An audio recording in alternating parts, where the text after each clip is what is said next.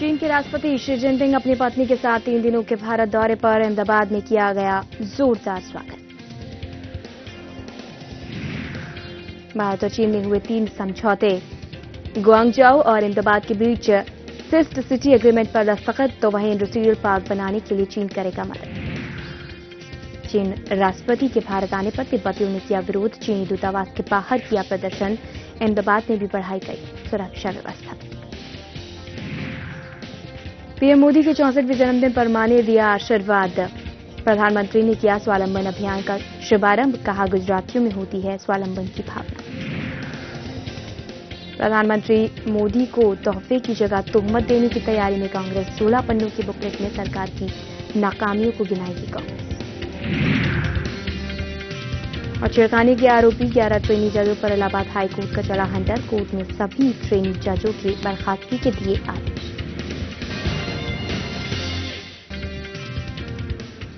नमस्कार, सुदर्शन न्यूज़ में आपका बहुत बहुत स्वागत है। मैं हूँ आपके साथ अंजलि। भारत और चीन के संबंधों को नया मोड़ देने के निवेश और संभावनाओं को तलाशने के लिए चीन के राष्ट्रपति शी जिनपिंग भारत के गुजरात दौरे पर हैं तो वहीं जिनपिंग के साथ उनकी पत्नी भी भारत आई है। एयरपोर्ट पहुँचे शी जिनपिंग का गुजरात की मुख्यमंत्री आनंदीबेन ने स्वागत किया है। इतना ही नहीं शी जिनपिंग को गार्ड ऑफ़ ऑनर भी दिया गया है। तो सीधे तस्वीरें इस वक्त आप अपने टेलीविज़न स्क्रीन पर गुजरात की देख रहे हैं, जहाँ पर जोरदार स्वागत इस वक्त शी जिनपिंग का किया जा रहा है। होटल हयात में उनका पहले स्वागत किया गया था। उसी के साथ कई उद्योगपति भी वहाँ पर मौजूद रहे थे। तो शी जिनपिंग का स्वागत इस वक्त किया जा रहा है। गौरतलब है कि चीनी राष्ट्रपति तीन दिन के भारतीय दौरे पर हैं और प्रधानमंत्री नरेंद्र मोदी के जन्मदिन पर वो गुजरात पहुँचे।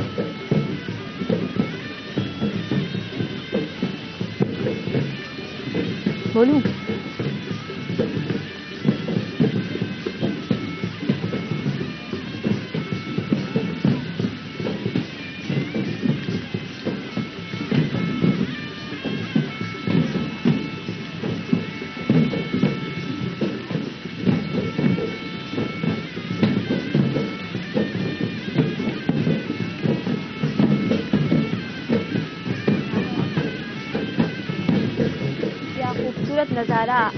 आपके टेलीविज़न स्क्रीन पर इस वक्त हम दिखा रहे हैं। देखिए, साबरमती रिवर फ्रंट का नज़ारा है।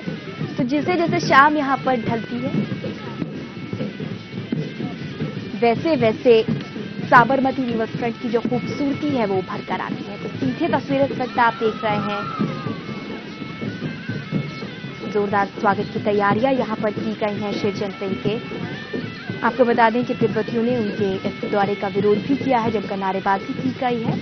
लेकिन स्थिति को संभालते हुए जोरदार स्वागत की तैयारियाँ शी जिनपिंग के यहाँ पर की गई है। तो तीन दिन के दौरे पर हैं शी जिनपिंग अहमदाबाद में इस वक्त मौजूद हैं। लगातार हम आपको दिखा रहे हैं साबरमती रिवर फ्रंट की तस्वीरें, जहाँ पर इस वक्त चीन के राष्ट्रपति शी जिनपिंग मौजूद हैं और उनके स्वागत के लिए तमाम तैयारियाँ यहाँ पर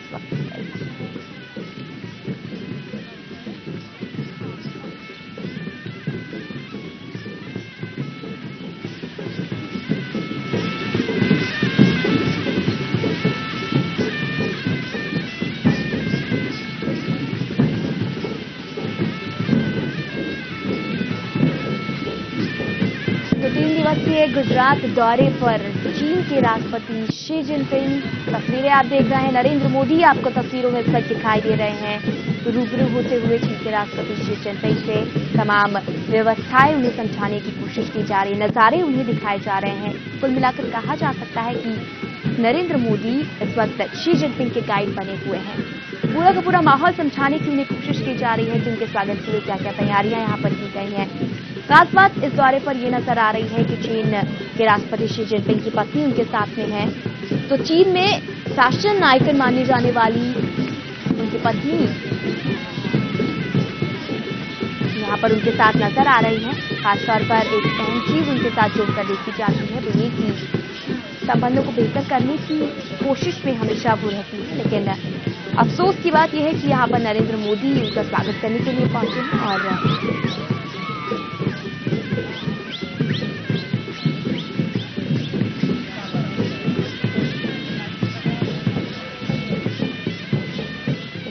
शी जिनपिंग के स्वागत की जोरदार तैयारियाँ, जोरदार स्वागत उनका यहाँ पर किया जा रहा है।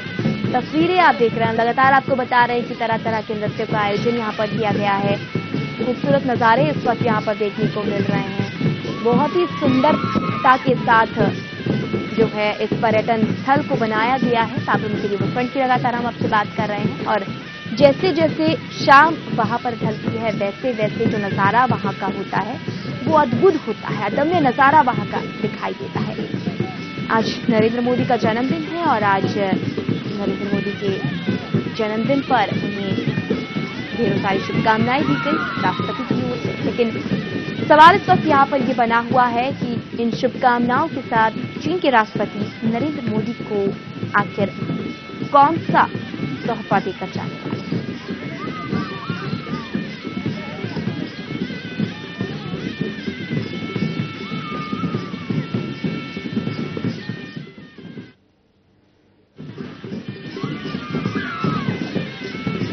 भव्य नज़ारा यहाँ पर दिखाई दे रहा है। अदम्य, अद्भुत कहा जा सकता है इसे, जिस तरीके से यह खूबसूरती यहाँ पर नज़र आ रही है साबरमती रिवर फ्रंट की।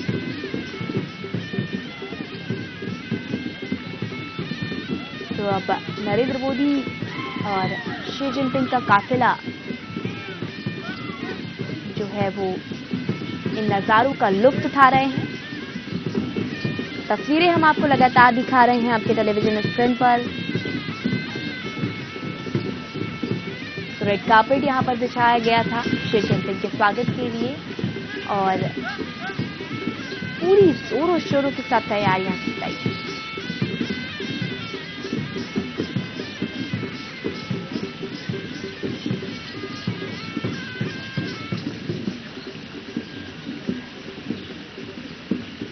आज से तीन दिवसीय भारतीय दौरे पर हैं श्री जिनपिंग और अहमदाबाद में इस वक्त हैं। तो अहमदाबाद की सीधी तस्वीरें हम दिखा रहे हैं आपको।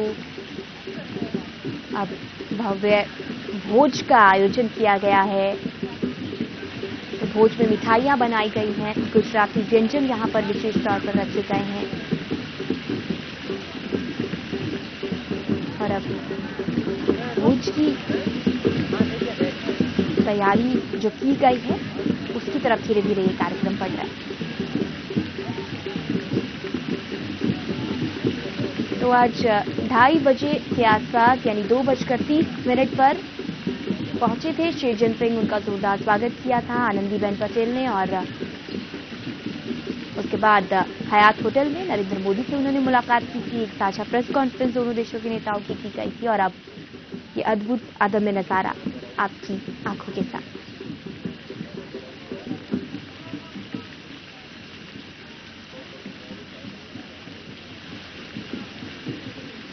सुरक्षा की अगर हम बात करें तो आप तस्वीरों में देख सकते हैं कि सुरक्षा के कितने कड़े बंदोबस्त यहाँ पर किए गए हैं।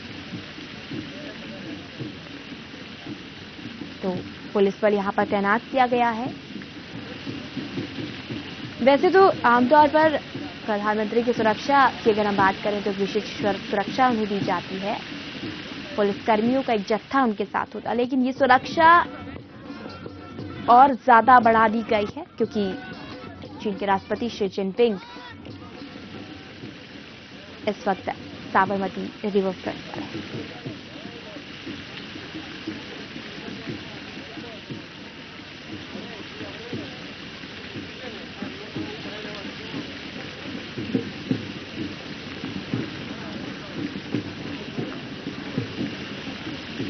तो पूरा लुफ्त उठाया गया इन खूबसूरत नज़ारों का। शाम से ही नरेंद्र मोदी और शी जिनपिंग और अपनी उनकी पत्नी यहाँ पर मौजूद हैं, जो कार्यक्रम यहाँ पर रखे गए हैं उनके लिए। उनका लगातार यहाँ पर लुफ्त उठाया जा रहा है और अब जैसे जैसे समय बढ़ रहा है वैसे वैसे भोज की तैयारियाँ जो की गई हैं, उसकी ओर कार्यक्रम अग्रसर हो रहा है।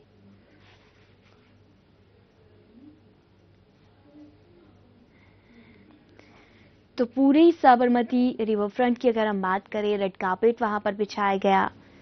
खूबसूरती के साथ, तमाम व्यवस्थाएँ जो हैं, उन्हें सुचारू ढंग से चलाया गया।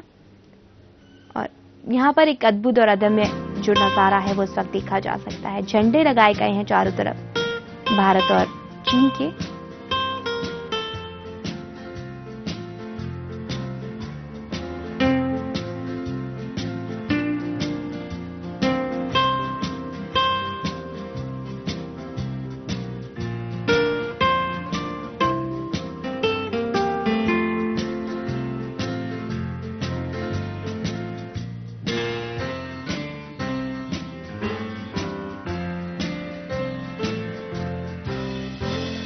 बता दें कि ये कोई खास नज़ारा नहीं है, बल्कि साबरमती रिवर फ्रंट का आम नज़ारा है, जो कि एक विशेष तौर पर, एक पर्यटन स्थल के तौर पर इसे यहाँ पर विकसित किया गया है और दर्शक यहाँ पर लुत्फ लेने आते हैं। लेकिन आज की बात खास है, आज की शाम खास है, क्योंकि आज चीन के राष्ट्रपति शी जिनपिंग पहुँचे हैं अहमदाबाद के दौरे पर और उनके साथ हैं प्रधानमंत्री नरेंद्र मोदी।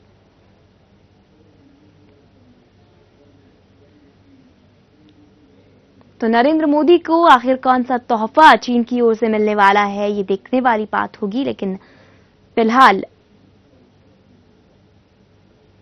तीन समझौते गुजरात के साथ किए गए हैं और तीनों समझौते अहम मानकर चले जा रहे हैं अपने आप में।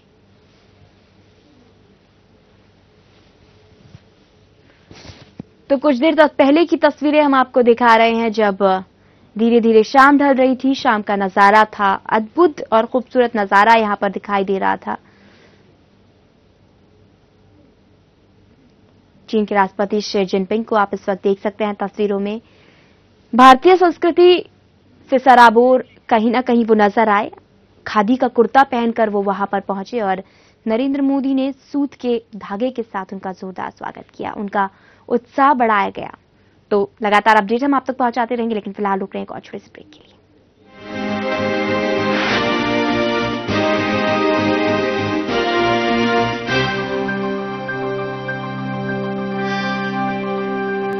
तो आज चीन के राष्ट्रपति शी जिनपिंग अहमदाबाद के दौरे पर हैं, भारत के तीन दिवसीय दौरे पर हैं, लेकिन सबसे पहले उन्होंने अहमदाबाद को चुनाव लगातार, हम आपके टेलीविज़न स्क्रीन पर आपको तस्वीरें दिखा रहे थे।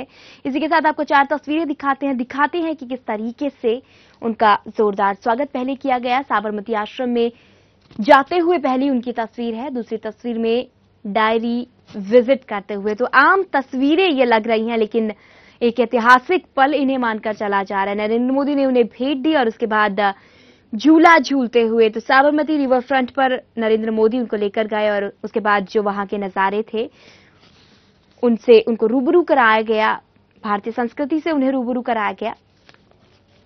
तो चार तस्वीरें देख रहे हैं आप इस वक्त अपने टेलीविज़न स्क्रीन पर। चारों तस्वीरें बहुत अहम तस्वीरें हैं, क्योंकि इन तस्वीरों में शी जिनपिंग आपको नज़र आने वाले हैं। चीन के राष्ट्रपति शी जिनपिंग जो कि तीन दिवसीय भारतीय दौरे पर हैं, पहली तस्वीर साबरमती आश्रम जाते हुए दूसरी तस्वीर में उन्होंने विज़िट की डायरी, तीसरी तस्वीर में नरेंद्र मोदी ने उन्हें भेंट स्वरूप कुछ उपहार दिए और चौथी और आखिरी तस्वीर, जहाँ पर कुछ फुर्सत के पलों में खूबसूरत नजारों का लुफ्त उठाया गया। चलो इसी पर ज़्यादा बातचीत करने के लिए रक्षा विशेषज्ञ हमारे साथ विजेंद्र मेहता जी इस वक्त जुड़ चुके हैं। विजेंद्र मेहता जी किन किन मायनों में अहम मानकर चला जा रहा है चीन के राष्ट्रपति शी जिनपिंग का ये दौरा? इनका दौरा ऐसे टाइम पे हुआ है जबकि कई सामरिक और कई महत्वपूर्ण आर्थिक मामलों पे बात होनी है। तिब्बत की बॉर्डर पे बहुत ज़्यादा तनातनी है इन दिनों। और ये अरुणाचल का भी ऐसी तरह मसला है। जी। इसी तरह वियतनाम में जो उत्तरी सी उत्तरी सी है मतलब जो समुंदर है उस पर भी जो है चीन अपना कुछ दखल देना चाह रहा है वियतनाम में। तो उसको लेके भी जो है भारत और उसको लेके कई मामलों में थोड़ा सा खिंचाव है। और दूसरा, भारत भी चाहता है कि चीन से जो आर्थिक व्यापार के हमारे मसले हैं, उसको जो है मिल बैठकर सुलझा लिया जाए तो ज़्यादा अच्छा है। क्योंकि भारत और चीन के बीच में कई चीज़ों के ऊपर बहुत ज़्यादा व्यापार तो है, लेकिन वो संधि उसमें नहीं कवर हो रहा। तो उसको लेके भी ये चाहते हैं कि भारत कह रहा है कि इनका मानना है कि हमारे को भी जो है आ, कुछ ऐसे मामलों में एक्सपोर्ट की अनुमति मिले। जैसे कि चीनी सामान की यहाँ पर इंडिया में खुलेआम है। तो ये लेके बहुत ऐसे महत्वपूर्ण टाइम पे आए हैं जिनपिंग जी। तो इसको ऐसे नहीं लेना चाहिए। बहुत ही महत्वपूर्ण समझौता होगा इनके बीच में। अभी आज ही तीन समझौते हुए हैं। और जापान की यात्रा के बाद तो और भी ये महत्वपूर्ण माना गया है कि जो है एशिया में जो वर्चस्व की अब चल रही है बात उसमें भी चीन भारत को बहुत अहमियत देने लगा है। और अग, अब अगले महीने इसी महीने नहीं अगले महीने में आ, हमारे प्रधानमंत्री अमेरिका की यात्रा करेंगे। तो उसको देख के भी ये चीनी ए, जो है राष्ट्रपति बहुत इसको महत्व दे रहे हैं। जी। वाकई कई मायनों में अहम इस दौरे को मानकर चला जा रहा है और इसी खबर पर सुबह से ही लगातार नज़र बनाए हुए हमारे संवाददाता संजय दवे। संजय, चलिए उनसे भी कुछ अहम जानकारी लेते हैं। संजय, अभी फ़िलहाल क्या क्या जैसे कि हम भोज की बात कर रहे हैं, सबसे पहले साबरमती रिवर फ्रंट पर वो गए और उसके बाद अब भोज की तैयारियाँ की गई हैं तो अभी क्या कुछ जानकारी इस तरह की मिल पा रही है? देखिए अंजलि मैं आपको बता दूँ कि जिस प्रकार से जिस उम्मीद से यहाँ पर चीन के राष्ट्रपति गुजरात में आए भारत का पहला दौरा उनका गुजरात से शुरू किया और जिस प्रकार से नरेंद्र मोदी ने उनका स्वागत किया आज प्रोटोकॉल तोड़कर नरेंद्र मोदी का जन्मदिन इसी प्रकार से माना जाएगा कि प्रोटोकॉल तोड़कर नरेंद्र मोदी आज खुद उनके लिए होटल पर बाहर खड़े रहे उनका स्वागत किया और उनको ले गए जब चीन के राष्ट्रपति को होटल के अंदर ले गए। जब होटल के परिसर के अंदर लॉबी के अंदर, वहाँ पर बुद्ध समय की, जो यहाँ पर गुजरात में बुद्ध साधु यहाँ पर आया करते थे, उसी समय के जो फोटोग्राफ्स थे, बुद्ध मठ यहाँ पर जितने थे, उनके फोटोग्राफ्स थे, वो सभी उनको दिखाए और वो वो भी भावुक हो गए और चीनी राष्ट्रपति भी भावुक हो गए। कहीं ना कहीं यहाँ पर जो नज़ारा देखने को मिला, एक एक दिल से यहाँ पर एक मुलाकात हुई। मैंने पहले ही कहा कि ये जो मुलाकात है, हमारे साथ रक्षा रक्षा विशेषज्ञ यहाँ पर हमारे मेहमान है शायद वो भी इनके साथ, हमारे साथ वो बात करेंगे कि वो सही बात होगी कि यहाँ पर जो लाइन ऑफ़ कंट्रोल की जो पूरी दुनिया बात कर रही है, नरेंद्र मोदी की पहली पहल होगी जो लाइन ऑफ़ रिस्पेक्ट की यहाँ शुरुआत की है। नरेंद्र मोदी जिस प्रकार से चीन, जापान और नेपाल और भूटान के साथ जिस प्रकार से उन्होंने पहले अपने नेबर, अपने पड़ोसी के साथ जिस प्रकार से उन्होंने अपने व्यवहार की शुरुआत की, देश और दुनिया वही देख रही है। नरेंद्र मोदी की ये जो राजनीति है, ये कहीं ना कहीं भारत को आने वाले दिनों में पूरी तरह से उनका फ़ायदा ज़रूर मिलने वाला है। और जिन पिंग के साथ जिस प्रकार से अभी गांधी आश्रम, हालाँकि मैं आपको एक बात यहाँ पर अवश्य बताऊँगा कि बौद्ध धर्म के आदि और बौद्ध धर्म के शिवा ये लोग कहीं नहीं जाने वाले। ये सिर्फ़ नरेंद्र मोदी के कहने से गांधी आश्रम में उन्होंने पहना था और गांधी आश्रम की मुलाकात ली जहाँ पर गांधी जी जो जो पूरी दुनिया उनको जानती है भारत के राष्ट्रपिता कहे जाते हैं वो गांधी आश्रम के अंदर उन्होंने जो दौरा किया वहाँ पर उन्होंने देखा कि गांधी कहाँ पर रहते थे, गांधी जी कहाँ पर ये जो अपना रेडियो काटते थे, गांधी जी कहाँ पर सोया करते मतलब अपनी रसोई कहाँ करते थे, वो सारी चीज़ें उन्होंने बिल्कुल ध्यान से देखी। नरेंद्र मोदी ने जिनके, जिन सिंह को पुस्तक भी भेंट किए, उनको गांधी जी की पुस्तक भी भेंट की, साथ में उनके साथ जिस प्रकार से जिनपिंग भी पूरी दुनिया देश, देखने को चाहता था कि नरेंद्र मोदी को क्या इनाम के तौर पर उनके बर्थडे के तौर पर क्या गिफ्ट दी जाएगी? उनके लिए तीन एमओयू भी साइन हुए हैं। देखो एमओयू साइन हुए हैं तो कहीं ना कहीं ये ये ये जो एमओयू है उसको कहे मेमोरेंडम ऑफ़ अंडरस्टैंडिंग अगर ये आज अंडरस्टैंडिंग हुई है तो कल ये जाके बिज़नेस में परिवर्तित होगी। तो शायद कहीं ना कहीं भारत को उनका फ़ायदा ज़रूर मिलेगा। उसके बाद वो रिवर फ्रंट में आए और रिवर फ्रंट में उन्होंने जिस प्रकार से जो लिस्ट था पूरे खाने का वो डिश के अंदर जिनपिंग की जो स्वादिष्ट अनुसार और उनके चॉइस की हुई चीज़ें रखी गई, जो उन्होंने पूरी तरह से गुजराती डिशों को उनको प्रीफर किया और वही डिशें उनको परोसी गई और जिस प्रकार से उन्होंने खुशी खुशी खाना खाया, अभी भोज भी पूरा हुआ है। जिन दिन की निकलने की तैयारी हो रही है, रिवर फ्रंट से सभी यहाँ पर बिज़नेस जो जितने हमारे कॉर्पोरेट कल्चर और बिज़नेस टाइपून जो जितने यहाँ पर आए थे, वो सभी यहाँ से धीरे धीरे बाहर निकल रहे हैं। पूरा गुजरात सरकार मोदी के साथ जो आनंदीबेन पटेल जो है यहाँ के मुख्यमंत्री सभी के सभी यहाँ पर एक के बाद एक निकल रहे हैं और अभी धीरे धीरे एयरपोर्ट की ओर जाएँगे और वहाँ से के जिनपिंग जो दिल्ली की ओर जाएँगे। जी, जी। चले संजय तो दिल्ली की ओर रवाना होंगे। एक भोज वहाँ पर रखा गया। और सुबह से ही हम आपको लगातार तस्वीरें दिखा रहे हैं किस तरह की तैयारियाँ वहाँ पर की गई हैं। अहम कई मायनों में ये दौरा मानकर इस वक्त चला जा रहा है। सबसे बड़ी बात यह है कि इंफ्रास्ट्रक्चर की हम बा, बात लगातार आपसे कर रहे हैं। निवेश की बात यहाँ पर लगातार की जा रही है। चीन की ओर से निवेश को बढ़ावा देने की बात की जा रही है। खास बात यह है कि दोनों ही देशों के बीच सीमा विवाद को लेकर कहीं ना कहीं जो तनातनी रिश्तों में महसूस की जा रही थी उसको दूर करने की यहाँ पर लगातार बात की जा रही है। चलिए हमारे साथ वीरेंद्र मेहता जी भी जुड़े हुए हैं। वीरेंद्र मेहता जी एक बड़ा सवाल इस वक्त ये खड़ा होता है कि एक सकारात्मक रुख जो है वो चीन का देखने को मिला है। जिस तरीके से हम बात कर रहे हैं अभी पिछले ही कुछ समय से तीन सौ चौंतीस बार घुसपैठ करने की कोशिश चीन की ओर से की जा चुकी है। लेकिन वहीं दूसरी तरफ़ दूसरा रुख चीन का दिखाई दे रहा है कि 100 से 300 मिलियन डॉलर की अरब मिलियन डॉलर की निवेश की बात चीन की ओर से की जा रही है। जी हाँ बहुत महत्वपूर्ण है जी। कि एक तरफ़ जो है घुसपैठ हो रही है और दूसरी तरफ़ जो है आर्थिक सहायता की भी जो है ऑफ़र मिल दिया जा रहा है। तो दोनों चीज़ें एक साथ चल रही हैं लेकिन देश में बहुत बड़ी एक राजनीतिक उथल पुथल हमारे यहाँ भी हुई है। लेकिन वीरेंद्र तो- मेहता जी सबसे बड़ा सवाल ये इस, इस वक्त यही है कि दोनों चीज़ें एक साथ कैसे हो सकती हैं? हाँ। दो जी। ऐसा है कि देखिए इस बार जो हमारी मैं यही कहने जा रहा था कि बहुत बड़ा रद्दोबदल हुआ है सरकार में कि पिछली जो यूपीए सरकार की नीतियाँ थी और जिस तरीके से वो पाकिस्तान के मामले में भी चलते रहे, एक तरफ़ जो है आतंकवाद चलता रहा और दूसरी तरफ़ वार्ताएँ भी चलती रही। तो अब मोदी सरकार ने जिस तरीके से इस बार स्टैंड लिया है कि पाकिस्तान के साथ कोई ऐसी वार्ता नहीं होगी जब तक वो आतंकवाद की नीति नहीं छोड़ता। तो मुझे लगता है कि इस बार चाइना के मामले में भी कुछ इसी पे स्टैंड को लेते हुए मोदी सरकार जो है कुछ बढ़ेगी। और जो सीमा पे विवाद है या जो दूसरे मसले हैं हमारे बीच में आर्थिक मामलों के भी तो उस पर विस्तार से बात होगी। और ये बहुत महत्वपूर्ण भी है कि दोनों बातें एक साथ नहीं हो सकती कि एक तरफ़ जो है घुसपैठ है और दूसरी तरफ़ आप आर्थिक समझौते भी करें। तो उसमें चीन को इस बार मुझे लगता है कुछ जो है नए वातावरण में कुछ नए समझौते करने पड़ेंगे। और उसमें अच्छा ही कुछ देश के लिए भी और एक एशिया में शांति के लिए एक अच्छा कदम होगा। जी। तो क्या लगता है वीरेंद्र जी कि आने वाले समय में चीन की ओर से जिन रिश्तों को बेहतर करने की बात की गई है उनसे जो घुसपैठ चीन की ओर से लगातार की जा रही है उस पर कोई फ़र्क पड़ता नज़र आएगा? जी हाँ बिल्कुल आएगा। चीनी राष्ट्रपति आए हैं तो वो लेकिन जी। आ, क्योंकि ऐसा एशिया में आ, जो है बैलेंस बनाने के लिए आ, भारत आ, को बहुत ही इम्पोर्टेंस दी जा रही है।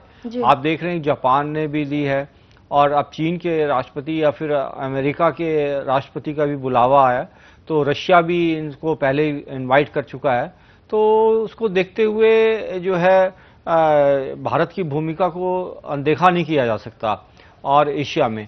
तो और उसको देखते हुए चीन इस बात को एहसास हो रहा है चीन को कि जो है भारत के साथ किसी नतीजे पे पहुँचा जाए और जिससे जो है इससे दोनों ही देशों को भला है।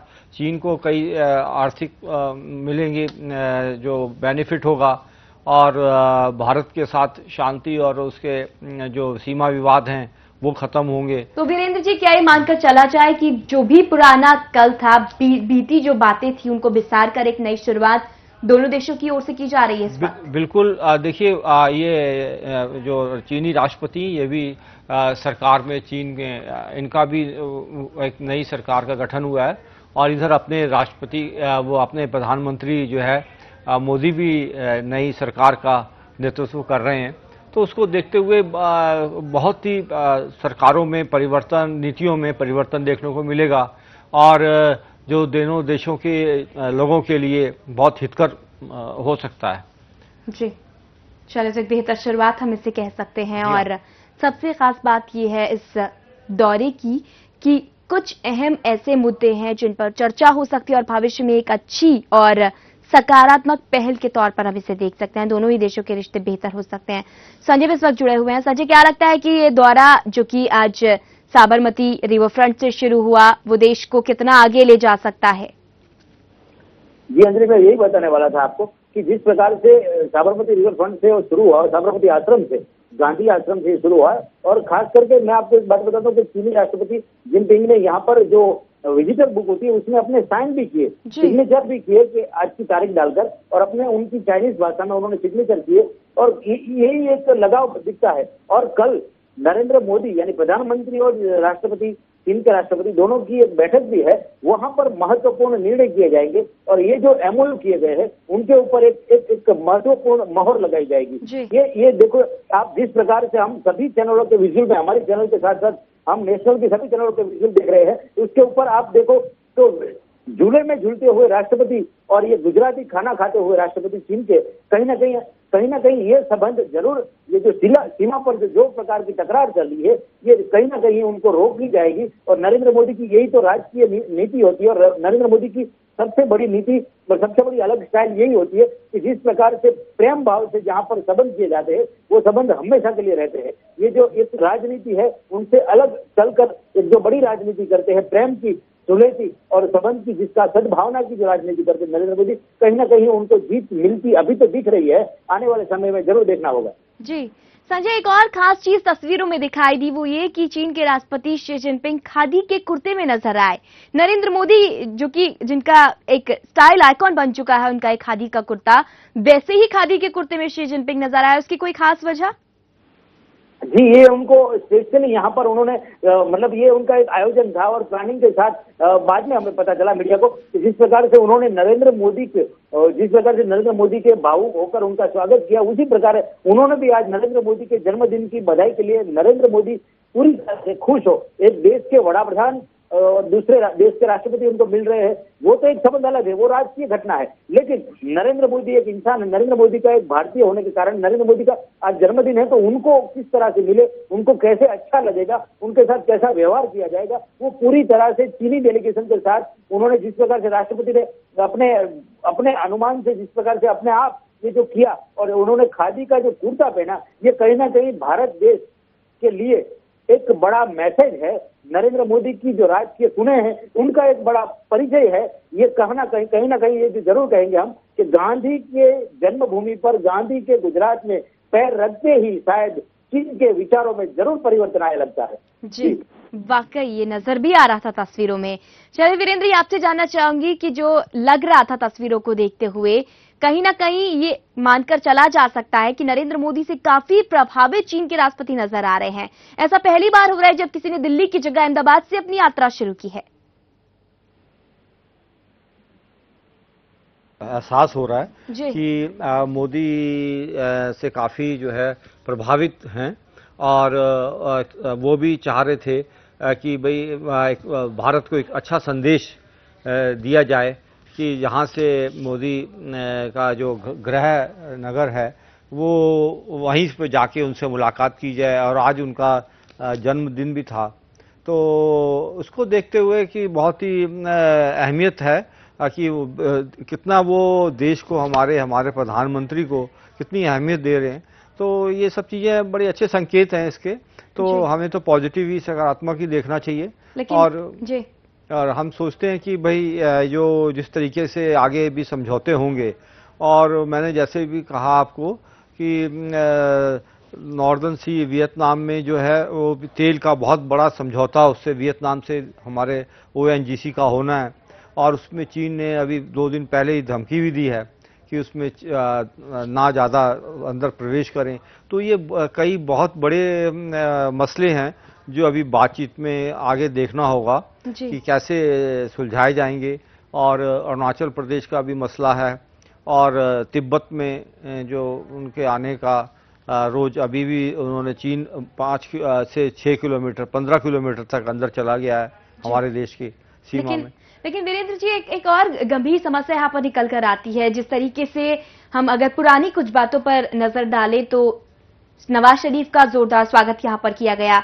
तोहफों का दौर जारी हुआ, उधर से तोहफे आए, इधर से तोहफे दिए गए, लेकिन, और उम्मीद भी की जा रही थी उस समय कि बेहतर रिश्ते पाकिस्तान के साथ होंगे, जो संबंध चले आ रहे हैं, उनको आगे ले जाने की बात की गई। ये भी कहा गया कि अटल बिहारी वाजपेयी जी के समय में जो समझौते अधूरे रह गए थे, उनको शरीफ और मोदी मिलकर आगे ले जाएँगे, लेकिन अभी की अगर हम बात करें वर्तमान परिप्रेक्ष्य की तो स्थिति पहले से भी बदतर कहीं ना कहीं नज़र आती है। सीजवार का रोज रोज उल्लंघन वहाँ से किया जाता है। लगातार आतंकियों की घुसपैठ वहाँ से जारी है। फिर कहीं ना कहीं एक असमंजस की स्थिति यहाँ पर बनी हुई है कि चीन का रवैया भी कहीं ना कहीं वैसा ही है। तो क्या लगता है कि वाकई एक सकारात्मक पहल के तौर पर इसे हम देख सकते हैं या फिर जो पुराने हमारे रिश्तों में जो कड़वाहट हम देख रहे हैं, इन सारे प्रयासों के बावजूद भी वही चीन के साथ दोहराया जाएगा फिर से? नहीं हम हमें आशावादी होना चाहिए। ऐसा निराशा में क्यों हम जाएँ? और पाकिस्तान में जो वहाँ की अभी अपनी ही सत्ता का वहाँ खेल शुरू है और वो खुद ही इतना परेशान है अपनी आतंकवाद से देश के। और आप देख रहे हैं राजनीतिक उथल पुथल वहाँ कितनी हो रही है। तो सेना का दखल है कई उनकी अपनी मजबूरियाँ हैं। तो वो जो चाहते हैं वहाँ के जो राजनयिक या पॉलिटिकल बड़े लीडर्स वो सक्षम इतने नहीं हो पा रहे जबकि सेना का वहाँ बहुत ज़्यादा दखल अंदाजी है और ऊपर से ये आतंकवादी गुट हैं वो भी तो, तो ज़्यादा आपके हिसाब से हम पाकिस्तान से कंपेयर नहीं कर सकते स्थिति थोड़ा विपरीत है। बिल्कुल बिल्कुल बिल्कुल पाकिस्तान और चीन में आ, कोई समानता ही नहीं है। पाकिस्तान में जब तक जो अंदरूनी जब खटपट शुरू हो जाती है जी। उठापटक तो वो भारत से थोड़ा सा अपने रिलेशन उनकी फौज जो है डाइवर्ट करने के लिए ध्यान थोड़ा सा यहाँ पर दखलंदाजी कर देता है सीमा पे हमारी। तो वो मुझे नहीं लगता कि चीन के साथ ऐसा है। वहाँ भी वहाँ की जो पार्टी है कम्युनिस्ट पार्टी उसका बहुत बहुत अच्छी पकड़ है। सेना पे और जो है अपनी सत्ता के ऊपर। वहाँ पर पाकिस्तान जैसा कोई हालात नहीं है लेकिन वीरेंद्र जी एक तरफ़ ये भी मानकर चला जा रहा है कि जापान से जो रिश्ते बेहतर करने की कवायद नरेंद्र मोदी ने शुरू की उसी की वजह से चीन का ये सकारात्मक रुख इस वक्त देखने को मिल रहा है जी हाँ उसका एक कारण ये भी है कि अभी प्रधानमंत्री गए थे जापान और उससे बहुत बड़े ट्रिलियन येन के समझौते हुए हैं। जी। तो उसको देखते हुए चीन को भी थोड़ा सा है कि भाई एशिया में जो है भारत जो है कहीं अगर हमसे अगर छूट गया और जापान ज़्यादा कॉन्ट्रैक्ट ले गया उनसे तो उसकी आर्थिक स्थिति पे फ़र्क पड़ेगा ज़रूर पड़ेगा क्योंकि चीन का जो व्यापार है वो अभी तक देखा जाए तो जापान से कुछ ज़्यादा ही है इन कई मामलों में। लेकिन अब जापान ने जो है अपनी पहल की है कई तकनीकी और इंडस्ट्री के उसमें क्षेत्र में। तो उसको देखते हुए चीन भी जो है कोशिश करेगा कि जापान से हम कहीं ज़्यादा और इनकी सहायता करके और यहाँ पर अपना महत्व बनाएँ देश के साथ। और उसको चीन को भी चाहिए इस तरीके की जो समझौते कि जिससे उसकी अपनी आर्थिक हालत और अच्छी हो वो उसकी भी आबादी हमारे देश के लगभग बराबरी थोड़ा ज़्यादा ही है। तो वो सारा देखते हुए वहाँ पे काफ़ी परिवर्तन भी हुआ है। वहाँ पर काम धंधे और दूसरी चीज़ों पे नौकरी में और वहाँ की नीतियों में बहुत परिवर्तन हुआ पिछले दिनों में। तो वो सरकार चाहेगी कि प्रगतिशील नीतियाँ वो चले जिस प्रकार पे कि वहाँ पुराने जो माओ के समय की जो नीतियाँ थी, वो अब टोटली देखने में आ रहा है उनमें परिवर्तन हो गया है। पुराना जो है कम्युनलिज्म वहाँ से धीरे धीरे खत्म ही हो गया है और वो आधुनिक और प्रगतिशील कम्युनलिज्म में वो बदलता हुआ दिख रहा है। जी वाकई। चलिए संजय, आपका रुख करूँगी और आपसे जानना चाहूँगी कि जिस तरीके से नरेंद्र मोदी गुजरात के प्रधानमंत्री हुआ करते थे, उस समय भी चीन का निवेश काफ़ी गुजरात में रहा है। तो अब तो नरेंद्र मोदी प्रधानमंत्री हैं। ऐसे में क्या लगता है कि चीन का विशेष योगदान गुजरात को मिलने वाला, जिस तरीके से अहमदाबाद के लिए तीन प्रोजेक्ट भी लॉन्च कर दिए गए हैं, समझौता किया गया है तो कोई विशेष तौर पर और अहमदाबाद या गुजरात के लिए चीन कुछ करने वाला है? जी देखिए अंजलि मैं आपको बता दूँ कि जिस प्रकार से हमारे मेहमान रक्षा विशेषज्ञ जिस प्रकार से मेहता साहब बात कर रहे हैं। इसी प्रकार से आशावादी नरेंद्र मोदी का सबसे पहला वाक्य है कि हमेशा आशावादी। और वो खुद उन्होंने संसद में अपने पहले में कहा था कि मैं आशावादी हूँ। तो आशा रखना और आशावादी बनना बहुत बड़ी अंतर है और उसके साथ नरेंद्र मोदी प्रैक्टिकल भी इतने हैं। आज जिस प्रकार से उन्होंने शुरुआत की और अपने गुजरात से शुरुआत करवाई तो कहीं ना कहीं और मेहता साहब ने अभी अभी बताया कि जिस प्रकार से जापान ने पहल की, उसी को देखकर चीन भी आज झुका है हमारे साथ। देखिए, देशों के अंदर, दुनिया के अंदर जिस प्रकार से अलग अलग देशों के अंदर जो मनमुटाव होते हैं, वो कहीं ना कहीं सीमा को लेकर होते हैं या अपनी आर्थिक समस्याओं को लेकर होते हैं।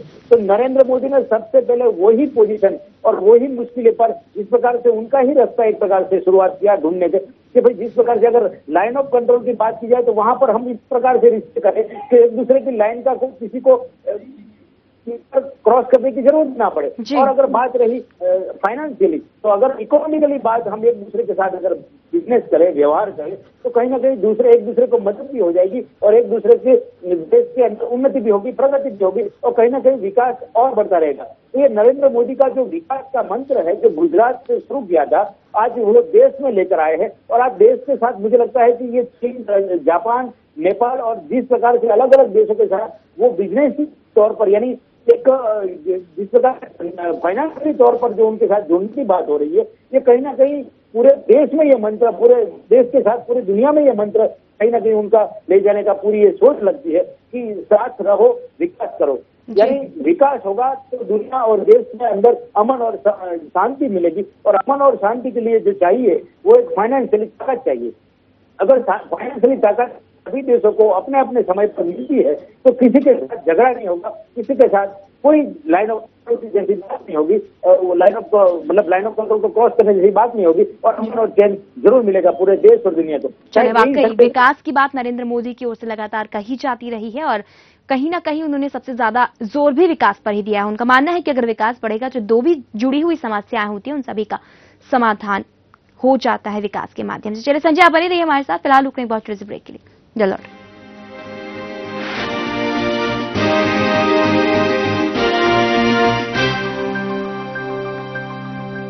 तो लगातार हम बात कर रहे हैं शी जिनपिंग के भारत दौरे की। भारत दौरे पर इस वक्त शी जिनपिंग है अहमदाबाद पहुँचे हैं और लगातार हम आपको तस्वीरें दिखाते आ रहे हैं कि किस तरीके से उनका जोरदार स्वागत किया गया और किस तरीके से उनके आगे के कार्यक्रम जो हैं वो इस वक्त चल रहे हैं। चले हमारे साथ संजय जुड़े हुए हैं लगातार, जो कि सुबह से ही पूरे, पूरी घटनाक्रम पर नज़र बनाए हुए हैं और लगातार अपडेट हम तक पहुँचा रहे हैं। संजय, सबसे पहले आपसे जानना चाहूँगी कि क्या लगता है कि अब जब ये पूरा का पूरा दौरा उनका खत्म होने वाला है और शी जिनपिंग अब की साबरमती रिवर फ्रंट से भी निकल चुके हैं, भोज की तैयारी इस वक्त की जा रही है। आगे का क्या कार्यक्रम उनका होगा? जी, संजय। तो चलिए, संजय से इस वक्त हमारा संपर्क नहीं हो पा रहा है। लगातार हम आपको बता रहे हैं कि शी जिनपिंग कई मायनों में ये दौरा अहम मानकर चला जा रहा है, क्योंकि बहुत सारे ऐसे मुद्दे हैं जो कि चीन के साथ अहम मुद्दे हैं, उन पर चर्चा हो सकती है, उन पर समझौते हो सकते हैं।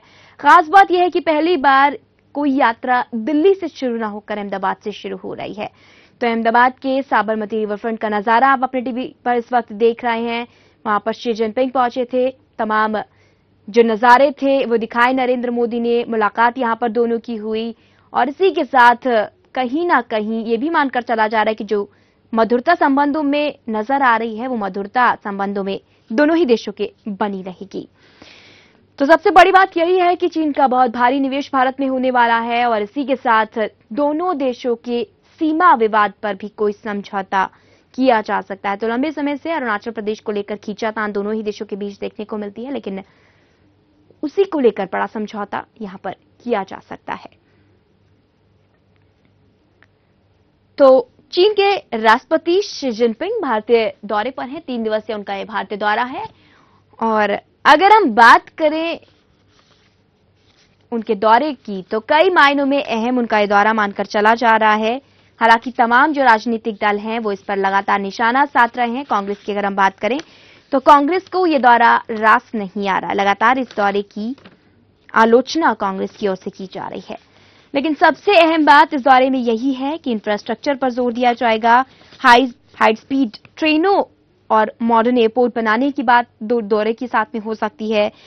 माना जा रहा है कि मोदी और जनपिंग भारत में बुलेट ट्रेन ला सकते हैं। बुलेट ट्रेन चलाने पर डील हो सकती है। दोनों देशों के बीच विकास को लेकर भी चर्चा हो सकती है। वर्ल्ड क्लास रेलवे स्टेशन और एयरपोर्ट को विकसित करने का समझौता हो सकता है। इसी के साथ सीमा विवाद, जो कि मुख्य है, उस पर भी बातचीत हो सकती है।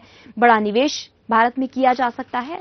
तो ये तमाम वो मुद्दे हैं जो कि काफ़ी अहम मानकर चले जा रहे हैं। चलो, इसी पर ज़्यादा चर्चा करने के लिए हमारे साथ विदेशी मामलों के जानकार ओपी गुप्ता जी भी जुड़ चुके हैं। ओपी गुप्ता जी, लगातार हम बात कर रहे हैं कि भारत का क्या फ़ायदा होगा? भारत को किन मायनों में फ़ायदा होने वाला है? निवेश बढ़ रहा है, ये बढ़ रहा है। लेकिन मैं आपसे सीधे जानना चाहूँगी कि इसमें चीन का क्या फ़ायदा है? चीन इतना भारी निवेश भारत में करने का इच्छुक है और एक सकारात्मक रुख चीन की ओर से नज़र आ रहा है। देखिए चीन को भी जो है एक मार्केट चाहिए और भारत की आर्थिक स्थिति बहुत अच्छी है। जी। तो इसलिए चीन इंटरेस्टेड है भारत में कि उसको यहाँ बिज़नेस करने का मौका मिलेगा। इन्वेस्टमेंट करने के लिए भी आपको मार्केट चाहिए।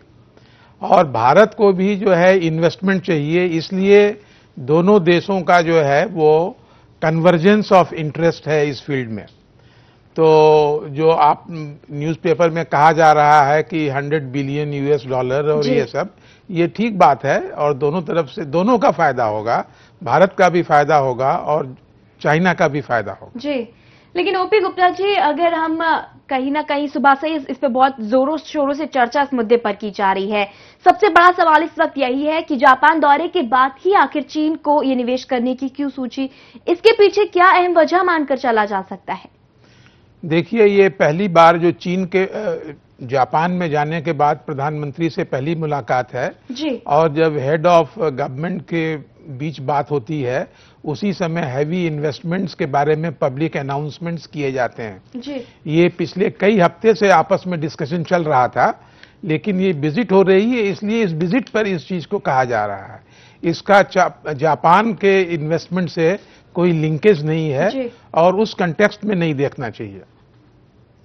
तो जापान द्वारे से जोड़कर हम इसे नहीं देख सकते। ये भारत और चीन के आपसी रिश्तों की बात है ये हाँ। कह जी।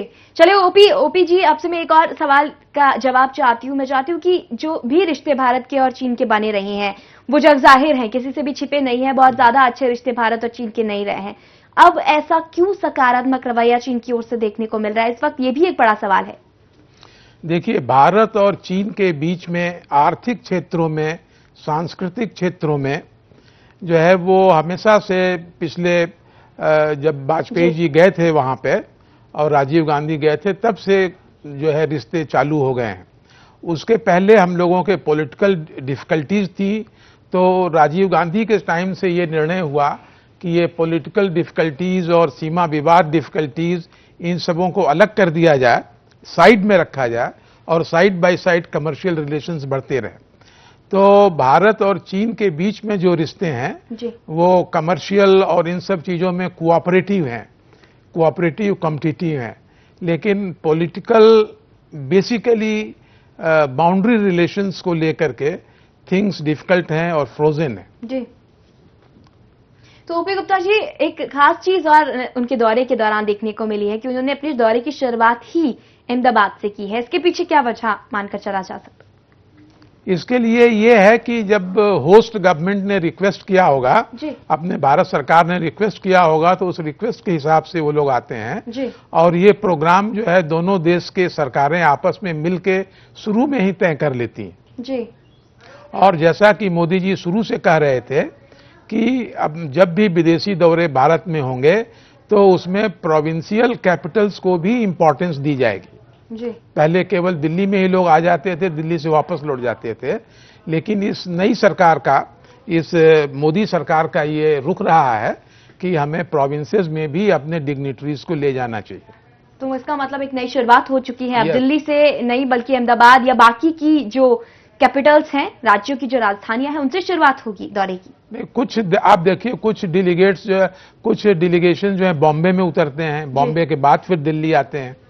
तो ये, ये अच्छी शुरुआत है जी। कि इस देश के प्रोविंशियल कैपिटल से भी जो है शुरुआत होगी। जी। चलिए वीरेंद्र मेहता जी आपके पास आना चाहूँगी और आपसे जानना चाहूँगी कि एक नई शुरुआत हुई है। कितना असर दिखाई देगा इसका भविष्य में? क्योंकि पहले दिल्ली से ही दौरा शुरू होता था और दिल्ली से ही लौट जाते थे लेकिन अब ये दिल्ली अब जैसे अहमदाबाद आज शी जिनपिंग पहुँचा और उससे पहले एक दौरा किया गया था। मुंबई से भी एक दौरा शुरू किया गया था। तो क्या लगता है कि ये भी एक अच्छी पहल है? एक अच्छी पहल के तौर पर इसे भी देखा जा सकता है। हाँ ये तो बहुत अच्छी पहल है। जी। क्योंकि हमारे राज्य बिल्कुल नेग्लेक्टेड जी पहले सिर्फ़ दिल्ली जी। हाँ पहले दिल्ली को ही भव्य तरीके से सजाया संवारा जाता था किसी डिग्नेटरीज के आने पर। अब थोड़ा सा ये ये भी होगा कि और राज्यों को भी मौका मिलेगा और उनके विकास में भी एक बहुत बड़ी एक मील का पत्थर होगा। इस तरीके की यात्राएँ। तो वो जो है उससे उनका आर्थिक विकास भी होगा कि मैं सोचता हूँ कि विकेंद्रीकरण की जो है दिशा में एक अच्छी पहल है ये कि जिससे जो है खाली जो है दिल्ली एक कैपिटल हर चीज़ दिल्ली में ही चाहे कॉमनवेल्थ गेम हो या कुछ हो तो दिल्ली से ही सब। अब अच्छा है और राज्यों को भी अपना अपना हुनर या अपनी वहाँ की जो अच्छी चीज़ें हैं दिखाने का प्रदर्शन करने का मौका मिलेगा और उनका विकास होगा। वहाँ भी अच्छी मतलब इन्वेस्टमेंट होगी। तो बराबर देश का विकास संतुलित रूप से होगा।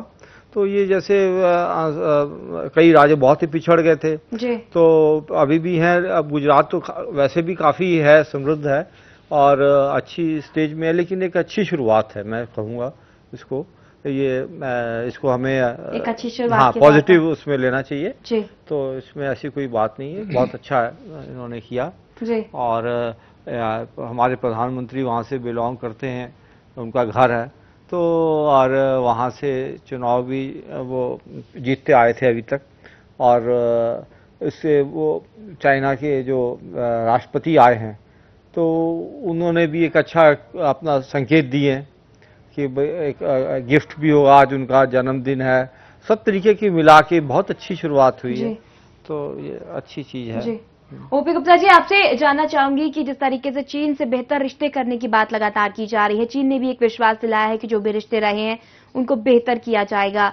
तो चीन के रिश्ते पाकिस्तान से भी कहीं ना कहीं बहुत नजदीकियाँ पाकिस्तान से चीन की जो है वो आजकल दिखाई दे रही हैं। भारत और पाकिस्तान के रिश्ते भी जग ज़ाहिर हैं इस वक्त। तो क्या लगता है कि अगर चीन से भारत के रिश्ते बेहतर होते हैं तो पाकिस्तान पर इसका कितना असर कितना फ़र्क दिखाई देने वाला है? देखिए चीन हमेशा कहता है कि पाकिस्तान उसका ऑल वेदर फ्रेंड है। जी। और पाकिस्तान को चाइना शुरू से यूज़ करता है टू बैलेंस इंडिया तो वो रोल तो चलेगा उसमें कोई मॉडरेशन नहीं होगा। तो अगर हम ये सोचें कि हमारा चीन से रिश्ता बेहतर हो जाएगा तो उससे पाकिस्तान पर असर पड़ेगा या पाकिस्तान की हॉस्टिलिटी कम हो जाएगी, ऐसा नहीं होगा।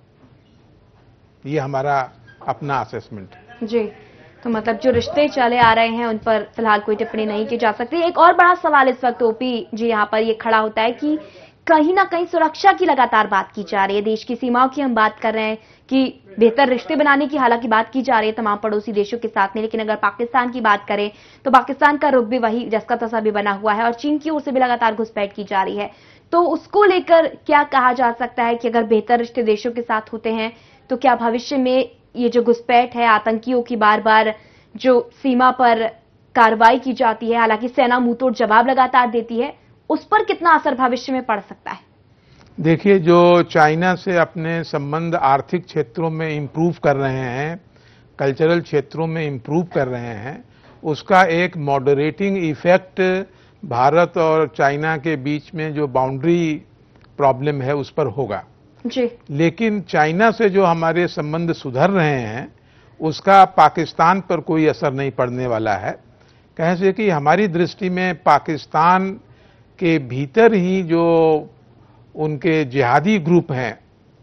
वो जिहादी ग्रुप आपके ऊपर लगातार हमला करते रहेंगे कभी कम कभी अधिक। लेकिन अगर चीन की घुसपैठ की हम बात करें तो क्या लगता है उस पर कोई भविष्य में फ़र्क पड़ेगा? वो बंद हो जाएगी जिस तरीके से समझौते किए गए हैं दोनों देशों के बीच और रिश्तों को बेहतर करने की बात की गई है चीन की ओर से? वो धीमे धीमे होगा ऑल ऑफ़ सडन नहीं होगा।